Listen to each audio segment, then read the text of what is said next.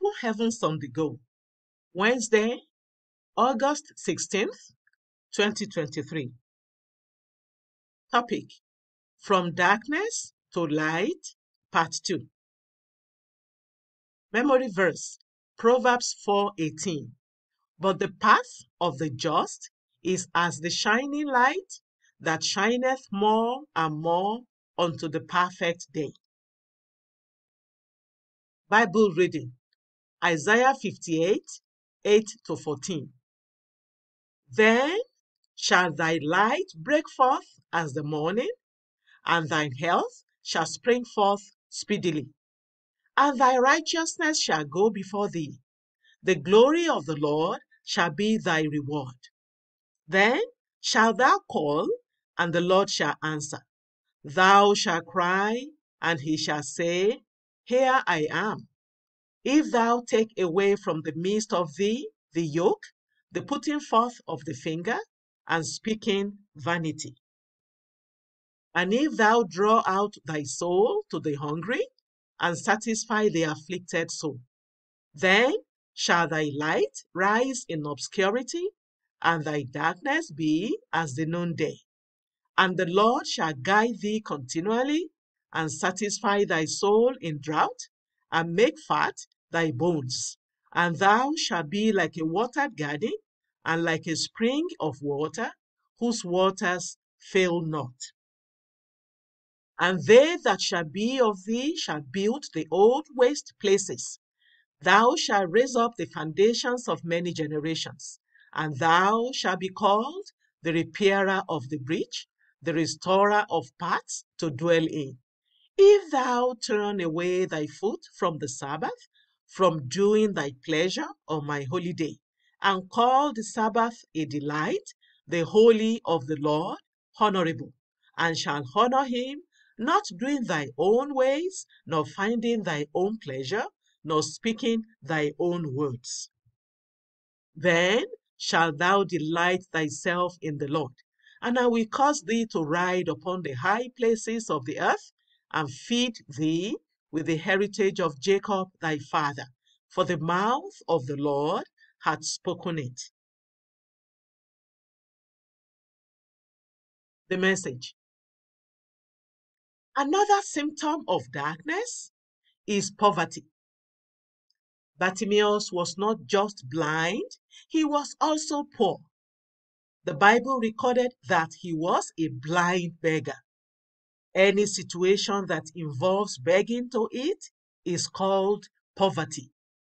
The Almighty God's plan is not for you to be a beggar, but rather that you will prosper. For several years, the enemy kept the church in darkness, and pastors began to equate holiness with poverty. The devil knows that you can spread the gospel faster if you have money. I don't know about you, but in the name of Jesus Christ, I am going to prosper because light stands for prosperity.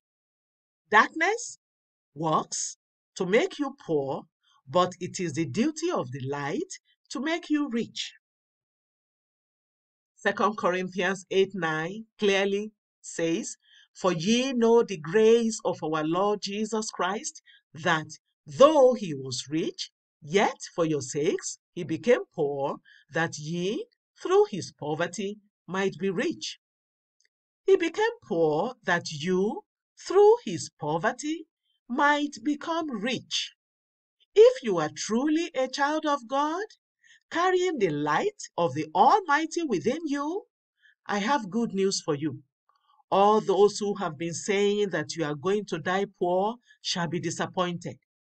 3 John 2 says, He wishes above all things that you will prosper and be in health, even as your soul prospers. If God wishes that you prosper, as long as your soul is prospering, it doesn't matter what the devil may be planning, you will be prosperous. There was a very wealthy man who quarreled with his wife. She said to him, I will see to it that you trek in this Lagos. This man was so wealthy that he had more than 14 cars, So he just laughed the threat off. However, by the day this man came to our church for the first time, he had only one car left and 50 kobo with him. He wanted to buy food with the money, but knew that if he did, he would end up walking home like his wife had said. So he decided to just buy fuel. When he came to the light, the tide turned in his favor. The day he gave his testimony, he was dedicating two new houses. God can take you from abject poverty to affluence if you give your life to Him and live holy. Prayer point Father, please let your light send the darkness of poverty far away from me in Jesus' name. Father, please let your light send the darkness of poverty far away from me in Jesus' name. Bible reading in one year Jeremiah 40 to 43. Hymn for today Amazing Grace. The Open Heavens is written by Pastor E. A. Adeboye, the General Overseer of the Redeemed Christian Church of God. God bless you.